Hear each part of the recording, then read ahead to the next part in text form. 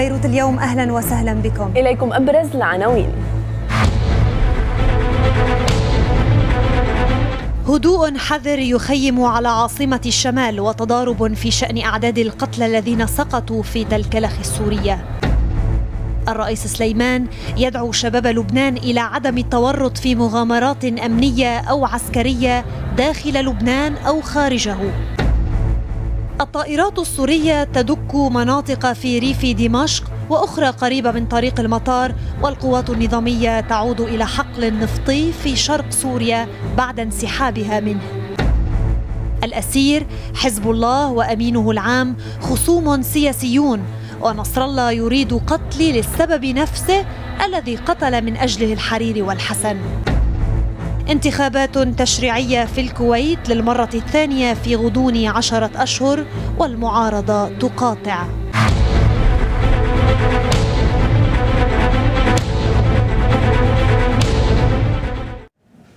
لم يحجب الهدوء الحذر الذي تنعم به عاصمة الشمال حتى الآن حال الاحتقان في المدينة غدة شيوع نبأ مقتل عدد من أبنائها في كمين للجيش النظامي السوري في تلكلخ وفيما تضاربت الأنباء في شأن أعداد الذين سقطوا على الأراضي السورية دعا الرئيس سليمان شباب لبنان إلى عدم التورط في مغامرات أمنية أو عسكرية داخل لبنان أو خارجه. في هذا الوقت يدك الطيران السوري مناطق في ريف دمشق وأخرى قريبة من طريق المطار. كذلك عادت القوات النظامية أدراجها إلى حقل نفطي في شرق البلاد في أعقاب انسحابها منه.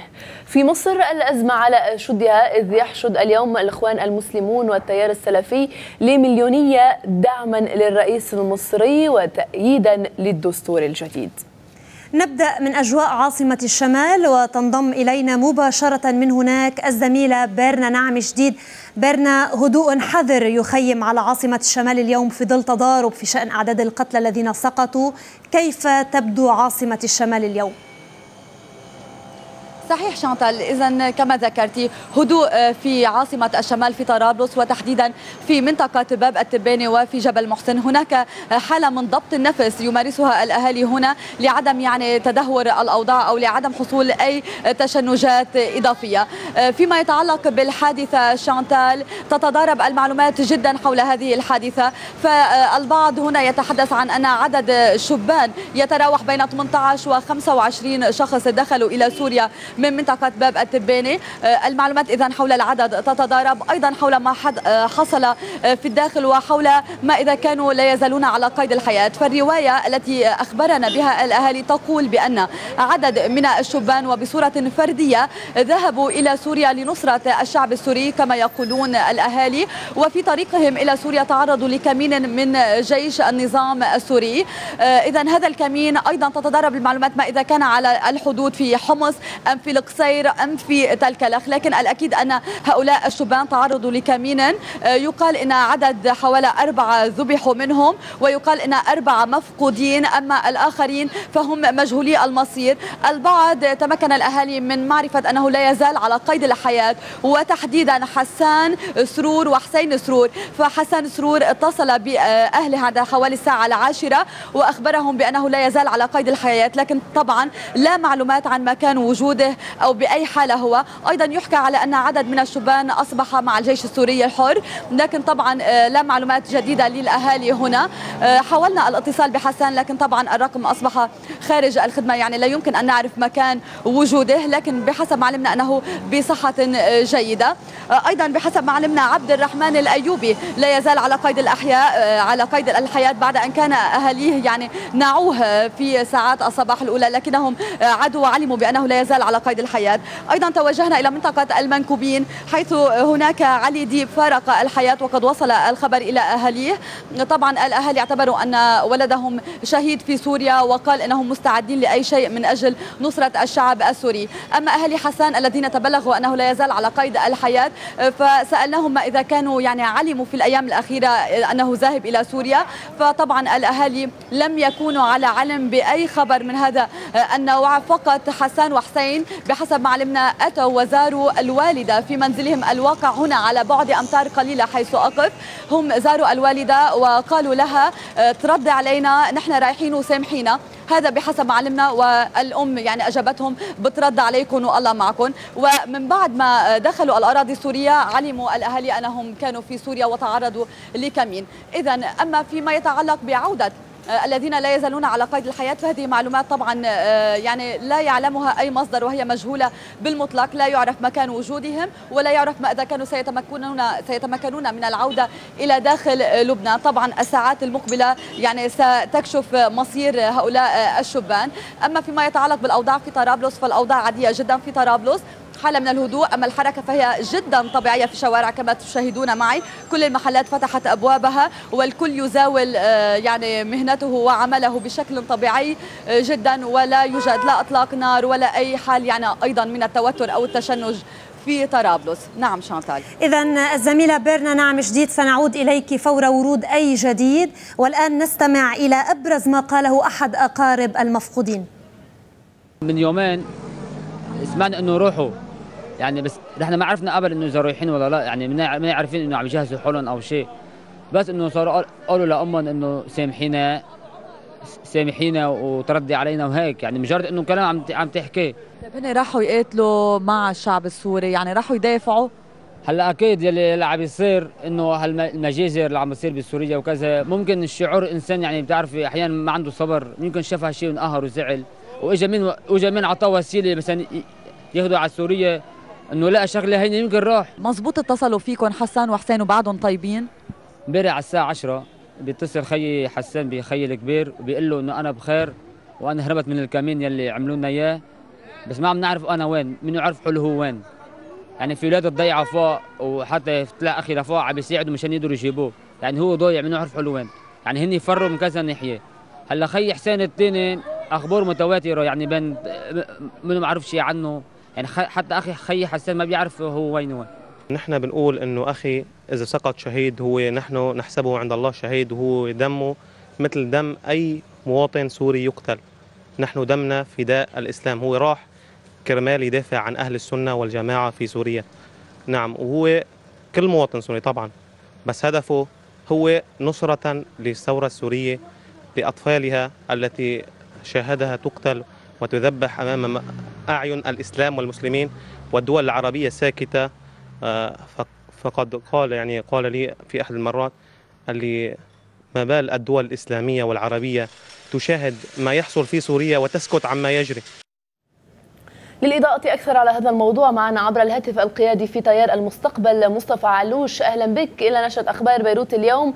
يعني أولا أريد منك تعليق على هذا الموضوع وما حصل من انخراط للشباب اللبناني فيما يحصل في سوريا.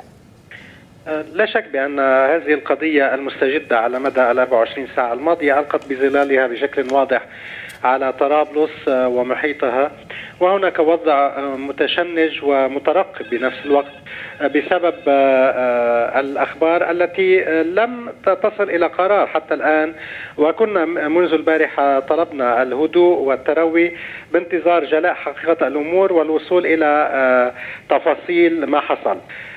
مسألة انخراط الشباب اللبناني آه، بالمواجهات في سوريا. في الحقيقة مسألة كانت متوقعة في أي لحظة وفي أي وقت من الأوقات.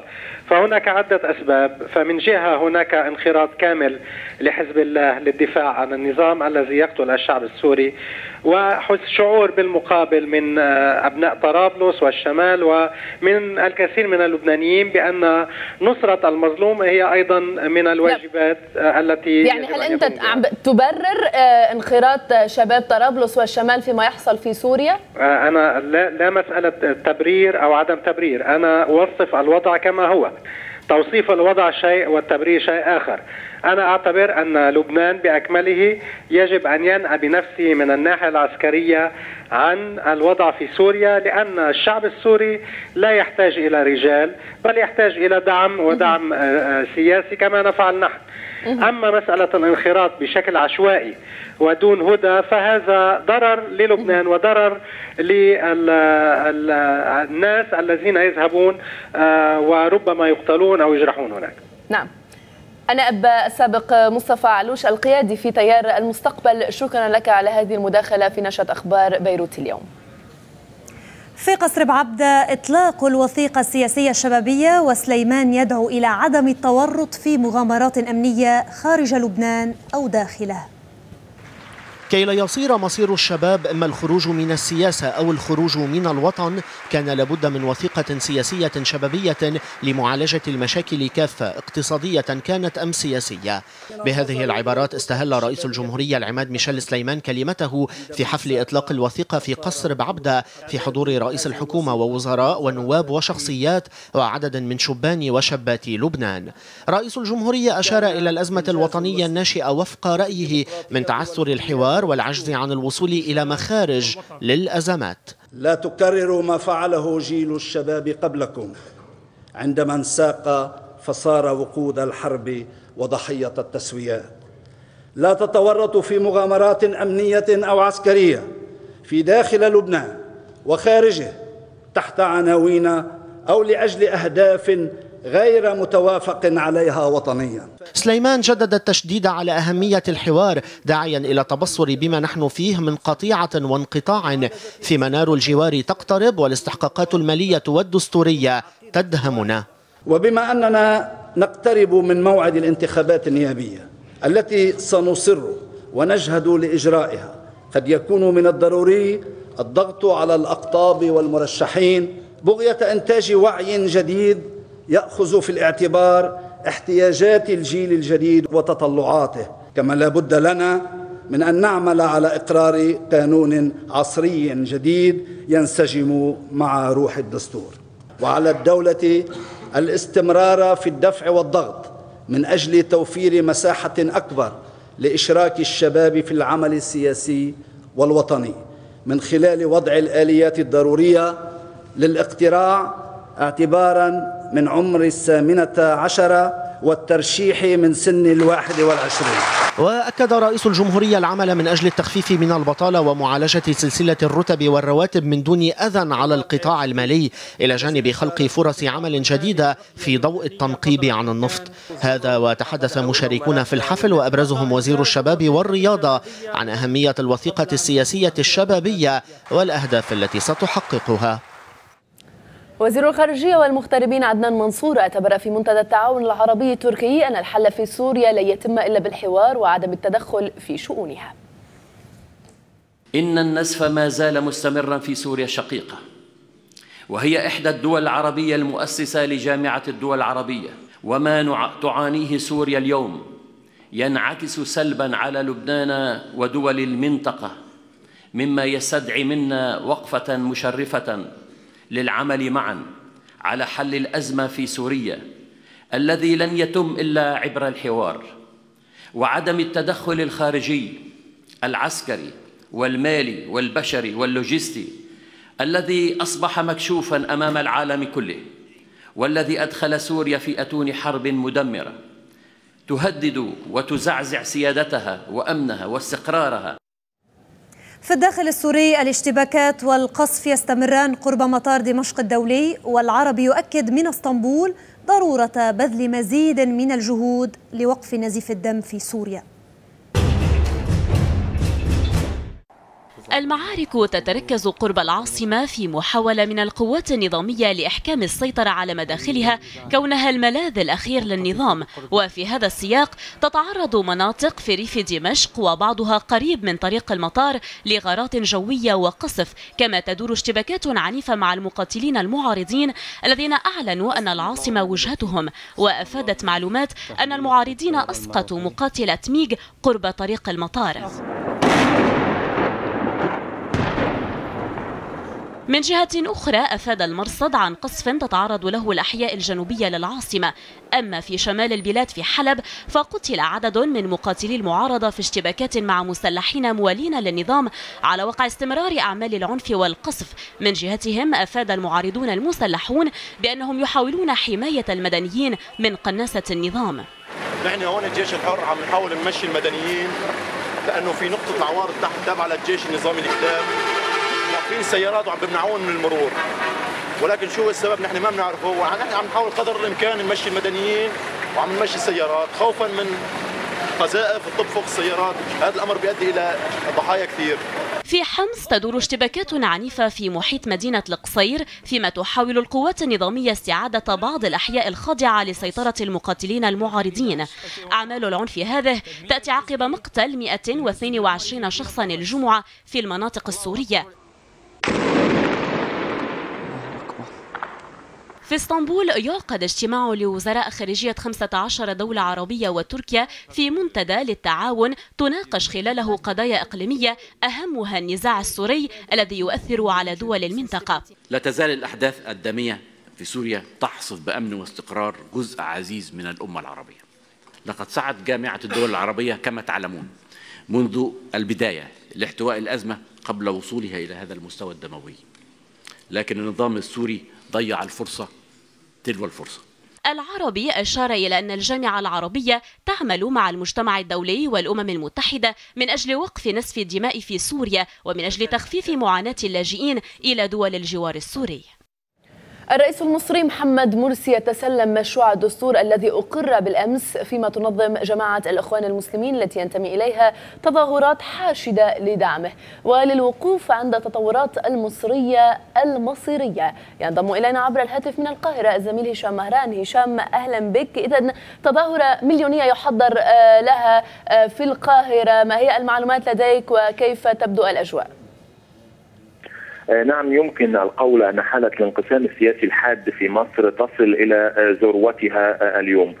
في ميدان نهضة مصر المقابل لجامعة القاهرة. هناك عشرات الآلاف من المتظاهرين المنتمين للتيار الإسلامي ينظمون الآن مليونية تحت شعار نصرة الشرعية والشريعة. هذه المليونية دعت إليها جماعة الإخوان المسلمين التي ينتمي لها الرئيس بالإضافة إلى التيار السلفي الذي حقق هدفا رئيسيا له في مشروع الدستور بإضافة مادة مفسرة للمادة الثانية في الدستور التي تنص على أن مبادئ الشريعة الإسلامية هي المصدر الرئيسي للتشريع. نجح السلفيون في إضافة مادة مفسرة أن يكون تفسير كلمة مبادئ الشريعة أن تشمل القواعد الأصولية والفقهية للشريعة الإسلامية وهو ما كان السبب الرئيسي في انسحاب ممثلي الكنائس المصرية الثلاث من من لجنة الدستور باعتباره يفتقر إلى مبدأ المواطنة حسب رؤية الكنيسة.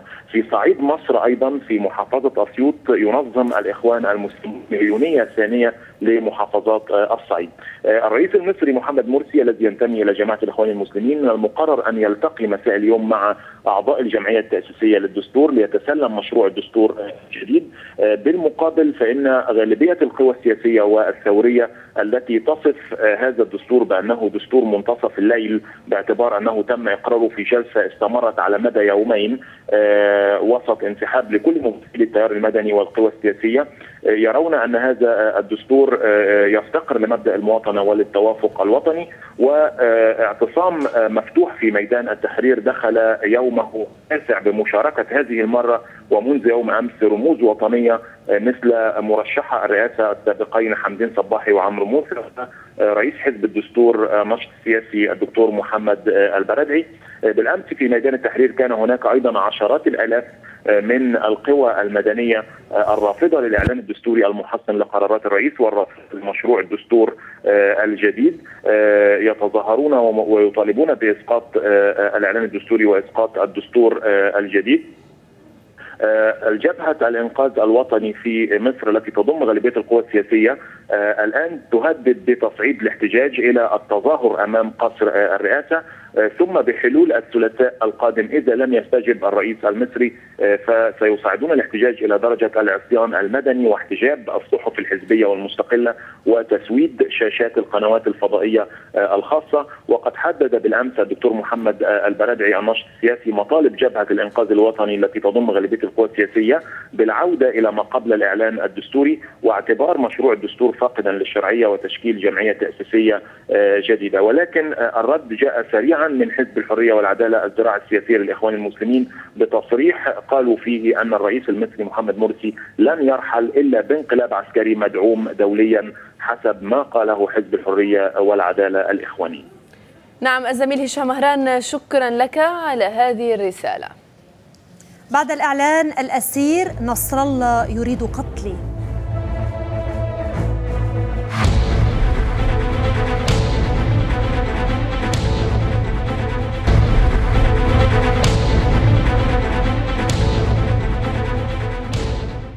شدد وزير الداخلية مروان شربل في حديث بشأن الاعتصام الذي ينوي الشيخ أحمد الأسير إقامته غدا على أن إغلاق الطريق الجنوب ممنوع منعا باتا كذلك الظهور المسلح. مؤكدا أن صيدا ستكون في عهدة الجيش. من جهة أخرى أعلن شربل للديار أنه سيدعو الأسبوع المقبل الناخبين وأن الانتخابات ستجري بداية حزيران في يوم واحد في كل لبنان وعلى أساس قانون الستين. وأضاف لدينا أمن من الجيش وقوى الأمن الداخلي ومن الموظفين والأساتذة ما يسمح بإجراء الانتخابات في كل لبنان.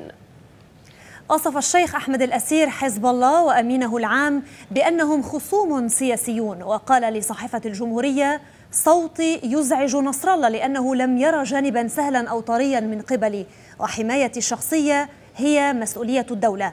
لكن في حال عجزت عن قيامها بذلك فعندها لكل حادث حديث. وأضاف إن بعضهم في الطائفة السنية يسأل كيف أن أحمد الأسير لم يزل على قيد الحياة حتى الآن. وأكد الأسير أن السيد حسن نصر الله يريد قتله لسبب نفسه الذي قتل من أجله الرئيس رفيق الحريري واللواء وسام الحسن ورجالات آخرين من لبنان. وهو الهيمنة التي ينتهجها نصر الله وحزبه والتي تجعله يرتكب كل المحارم.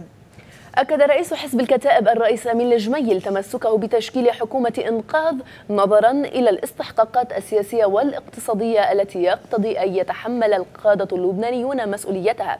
مشيرا في حديث للأخبار إلى أنه لا يعتقد أن حكومة تكنوقراط أو وزيرا تكنوقراطيا يمكنه تغطية الجيش وقوى الأمن الداخلي في حوادث كالتي شهدتها طرابلس وعكار وبيروت وصيدا. وشدد على ضرورة إجراء الانتخابات في موعدها وإن في ظل القانون القانون النافذ حاليا. واضعا موقف البطريرك الراعي في سياق احترام المواعيد الدستورية للاستحقاقات. وأضاف سنحضر كل جلسة لمجلس النواب بندها الوحيد قانون الانتخاب. جرح خمسة أشخاص في صيدا واعتقلت القوى الأمنية عددا آخر بعدما تطور إشكال بين بائعي الخضار إلى تضارب بالعصي وسحب للسكاكين على خلفية اختلاف الآراء بين مؤيد ومعارض. للقرار الصادر عن المجلس البلدي والقاضي بإزالة عربات الخضار كافة. وقد نفذت وحدة من شرطة بلدية صيدا القرار الصادر عن المجلس البلدي قبل أربعة أيام. في التقرير الخاص نقابة الممرضين والممرضات تطالب بفرض الرقابة على فيلم النجا من مقص الأمن العام. تقرير جوال إزايلي. هاي أنا اسمي جوليات مطلب جديد بفرض الرقابة على عمل فني. هذه المرة على أول فيلم لبناني ثلاثي الأبعاد آخر فالنتاين في بيروت. السبب؟ نقابة الممرضين والممرضات اعترضت على ارتداء شخصية المومس في الفيلم لباس الممرضات ورأت في الأمر إساءة وتشويها لسمعة العاملين في قطاع التمريض. فرفعت دعوى قضائية لدى النيابة العامة الاستئنافية في بيروت للمطالبة بحذف كل المشاهد المتعلقة بالممرضات وبتعويض مالي قدره 100 ألف دولار. اللافت أن الفيلم نجا من مقص الأمن العام الذي سمح بعرضه على أن توضع عليه إشارة للراشدين فقط إلا أن الجدل الحاصل حوله أدى إلى امتناع بعض أصحاب دور السينما عن عرضه. الفيلم قبل ما ينزل على الصليط آه، وردت دعايته على اليوتيوب. هالشيء اللي ورد على اليوتيوب كان كافي لنا أنه يشكل مادة حتى نتقدم بشكوى؟ لأنه كانت واضحة صورة الممرضة على اليوتيوب. في إساءة لمهنة التمريض وإساءة كتير واضحة. يعني في الدور اللي عم تلعبه الممثلة يتمحور حول موضوع التمريض وخاصة أنه الممرضات مش بحياتهم الشخصية أثناء ممارستهم لمهنتهم. وهذا شيء أن نحن كنقابة ما رح نقبل فيه. ما بتعتبروا بس أنه لازم يكون في حرية تعبير بالسينما؟ نحن مش ضد حرية التعبير. نحن مع الحرية شرط إنه الحرية في لها حدود وقت اللي بتصير تمس بكرامة الناس. نحن شايفين إنه كرامتنا عم تنمس لمن غيرنا عم بيستعمل حريته. ونحن كمان استعملنا حريتنا يعني نحن لجأنا للمراجع الصالحة. نحن كمان عندنا حق الرد. حق الرد هو إنه نلجأ للقضاء المختص. المخرج سليم الترك يرفض الخضوع للرقابة مدافعا عن حرية التعبير في الأعمال الفنية. الفيلم مش عم بيحكي عن المرضات بأي شكل. في لباس مرضى. والبطله بالفيلم ابدا ما خصها بالتمريض ما لازم يكون في ولا رقيب على المخرج. المفروض يقدر يقول شو ما بده قد ما كان الرأي جريء وسائر وفي في يعبر عن اللي بدي إياه. وهيدي مشكلة السينما بلبنان. عندك الرقيب وعندك آه، النقابات وعندك أصحاب الأحاسيس الخاصة وعندك أصحاب الصلاه كلهم راقبين على الفن. خلوا هذا الضوء البسيط يعني ليقدر المواطن اللبناني يعبر عن حاله طالما هو مقموع من المحلات الثانية الموضوع بات في يد القضاء فهل ينضم فيلم آخر فالنتاين في بيروت إلى لائحة الأفلام التي خضعت لمقص الرقابة؟ في احتفال أقيم في القاعة الكبرى في دير مار الياس أنطلياس قدم المهندس ميشيل عقل كتابيه الأرض ليست ملكا لنا وبالثقافة نبني حضر الاحتفال عدد كبير من الشخصيات الروحية والثقافية وكانت كلمات أشادت بمضمون الكتابين وبأبعادهما الفكرية. عقل من جهته أشار إلى أن الثقافة كما الخبز والعلم هي حاجة وحق واعدا أنه مستمر بالبحث والكتابة والتأليف مثمنا دور الثقافة في بناء الإنسان والمجتمع. بعد الإعلان الكويتيون يقترعون والمعارضة تقاطع.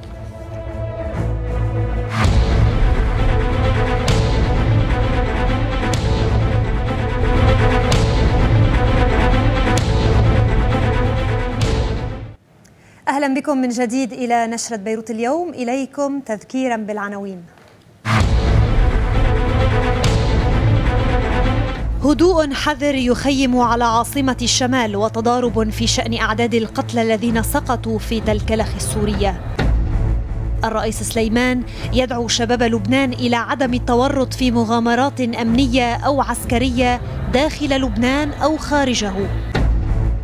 الطائرات السورية تدك مناطق في ريف دمشق وأخرى قريبة من طريق المطار والقوات النظامية تعود إلى حقل نفطي في شرق سوريا بعد انسحابها منه. الأسير حزب الله وأمينه العام خصوم سياسيون ونصر الله يريد قتلي للسبب نفسه الذي قتل من أجله الحرير والحسن. انتخابات تشريعية في الكويت للمرة الثانية في غضون عشرة أشهر والمعارضة تقاطع.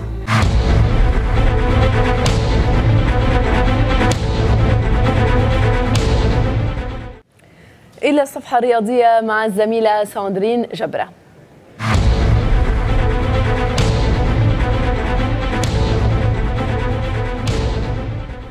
Hi ساندرين Hi جيسي Hi ساندرين شو في أخبار رياضية؟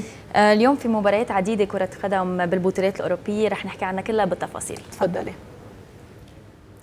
بألمانيا مباراة منتظرة الساعة 7:30 مساء اليوم بتوقيت بيروت بين البايرن والدورتموند بأبرز مباريات المرحلة ال 15 اللي انطلقت مساء امبارح بفوز كبير لدوسلدورف على فرانكفورت 4-0 مواجهة البايرن والدورتموند أصبحت وحدة من أهم المواجهات بكرة القدم الأوروبية خاصة بعد المستوى الكبير اللي عم بيقدمه الفريق الأصفر بالسنوات الأخيرة وفوزه بلقب الدوري الألماني بآخر موسمين على حساب غريمه البافاري. لكن الأهم هالموسم أنه الفريقين عم بيكونوا من أقوى الفرق بأوروبا بعد نتائجهم المميزة بال Champions League. بالأخص فريق دورتموند اللي قدر يتصدر مجموعته النارية ويتأهل للدور الثاني من دون صعوبات على حساب العمالقة ريال مدريد مانشستر سيتي وأجاكس أمستردام رغم انه التركيز على المسابقة الأوروبية أدى إلى تراجع أبطال ألمانيا محليا ليصير الفارق 11 نقطة بينهم وبين البايرن يلي ضمن إحرازه لقب بطل الخريف قبل ثلاث مراحل عن نهاية مرحلة الذهاب. ربما الترشيحات بتصب لصالح الفريق البافاري مساء اليوم كونه عم بيلعب على أرضه بالأليانز أرينا. لكن مدرب دورتموند يورجن كلوب بيعرف تماما إنه فوزه رح يسمح لفريقه بالعودة إلى المنافسة على اللقب. أما قائد دفاع الفريق الأصفر ماتس هوملز فأكد على أهمية العودة بالنقاط الثلاثة من ميونخ. ودعا الجميع للاستمتاع بهالمباراة يلي توقعها حامية جدا من البداية للنهاية.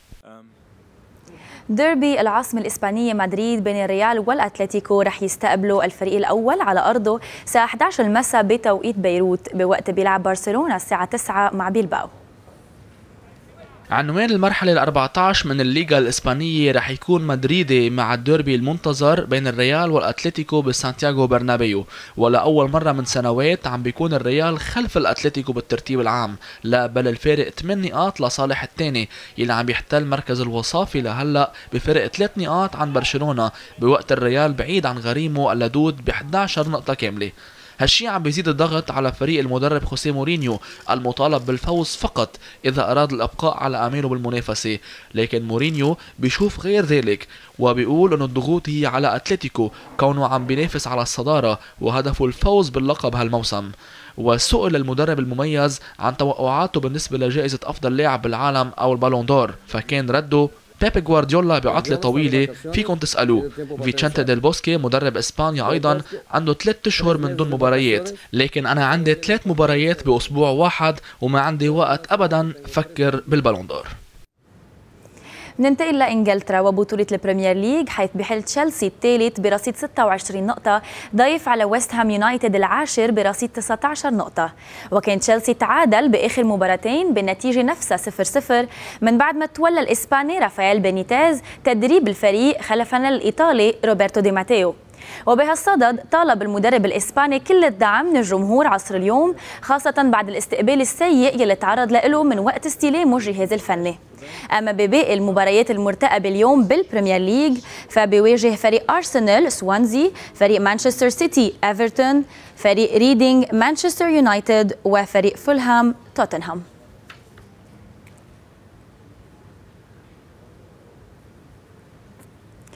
أيضا بكرة القدم وتحديدا الدوري الإيطالي فاز امبارح AC ميلان على كاتانيا بنتيجة 3-1 أما بباقي مباريات اليوم بالدوري فبيواجه يوفنتوس فريق تورينو إنتر ميلان فريق باليرمو ولاتزيو فريق بارما.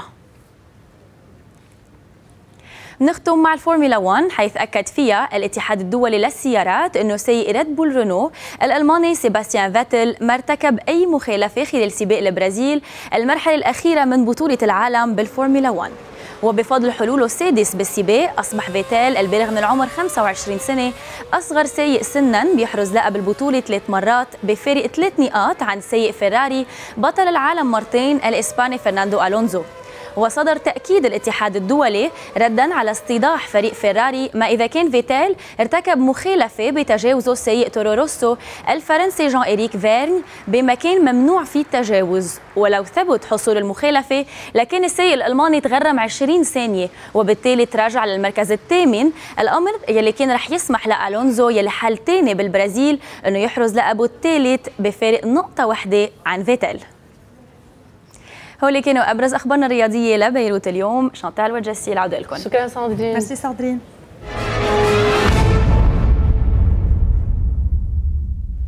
في تونس انسحب الجيش من مدينة سليانة مركز الولاية التي تحمل الاسم نفسه وشهدت منذ الثلاثاء منذ الثلاثاء مواجهات بين قوات الأمن ومتظاهرين بينما يتوقع أن تبدأ محادثات في العاصمة بين الحكومة نقابيين وأشار مصدر في الشرطة أن الجيش اقترح قدوم وضمان الأمن لعدة أيام في سليانة لكن وزارة الداخلية رفضت ذلك. بدأ الكويتيون الإدلاء بأصواتهم لاختيار برلمان جديد للمرة الثانية في غضون عشرة أشهر. وذلك في ظل مقاطعة واسعة من جمهور المعارضة وبعد احتجاجات شعبية ضد تعديل قانون الانتخابات. ومن المتوقع أن ينتج عن هذه الانتخابات برلمان موال للحكومة بشكل تام فيما المعركة بين السلطة والمعارضين تتركز على نسبة المشاركة. تعتزم كوريا الشمالية إطلاق صاروخ لوضع قمر اصطناعي في المدار بين 10 و 22 كانون الأول ويأتي ذلك بعد سبعة أشهر من تجربة فاشلة اعتبرها الغربيون اختبارا خفيا لصاروخ بعيد المدى يمكن تزويده بقدرات نووية. بعد الإعلان شرطي أمريكي يعين أحد المشردين.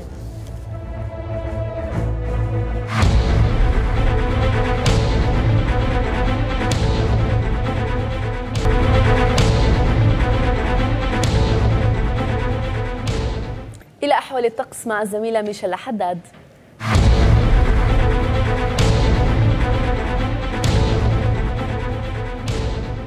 مرحبا.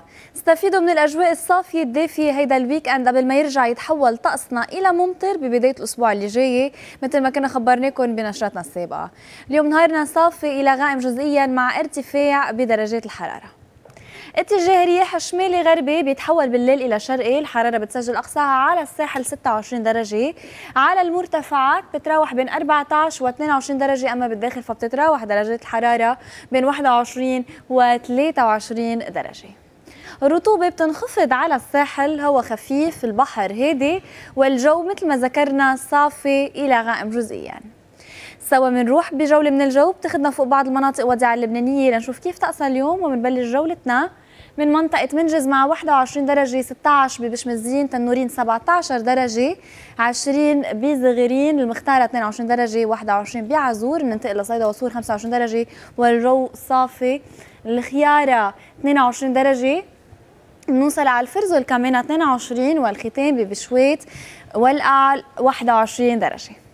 لمحة سريعة عن طقس اليوم والأيام اللي جاي اليوم السبت. مثل ما قلنا الجو صافي الحرارة بتسجل اقصاها 26 درجة بيتابع الطقس على هذا الحل لنهار الأحد. ومثل ما عم بتشوفوا ابتداء من التنين بتوصل لعنا الأمطار وبتبلش تنخفض درجات الحرارة نهار الثلاثاء لل 20 درجة. من بعد هالجولة على طقس لبنان بنختم نشرتنا بجولة سريعة على طقس بعض المدن حول العالم. وتفاصيل أكثر عن طقس الأسبوع الجديد بنشرتنا الجاي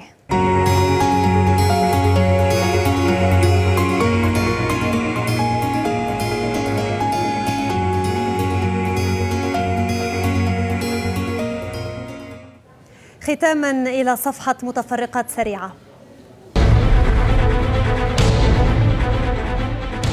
صورة مميزة بتظهر شرطي بنيويورك عم بيعطي أحد المشردين حذاء ليلبسه ويتدفى فيه. بما أنه كان عاري القدمين بليلة باردة كتير نشرت على صفحة شرطة نيويورك على فيسبوك وعملت ضجة إيجابية كبيرة. هالشرطي دفع 75 دولار حق الحذاء وحصل على 25% حسم من بعد ما عرف صاحب المتجر أنه بده يقدمه لمشرد على الطريق. نجمة برنامج الواقع Keeping Up with the Kardashians. كيم كارداشيان عملت ضجة كبيرة بين معجبينها لدى وصولها إلى الكويت بإطار جولة ترويجية بالشرق الأوسط. كيم افتتحت متجر للميلك شيك فيديو مهضوم كتير نشره البيت الأبيض لكلب العائلة الرئاسية الأمريكية بو. هو وعم بيكشف على زينة الميلاد. قبل ما يزور البيت أكثر من 90 ألف شخص ليشوفوا الزينة. يلي كمان بو طلعوا له حصة منها مع مجسم طبق الأصل عنه مع قبعة بابا نويل على راسه.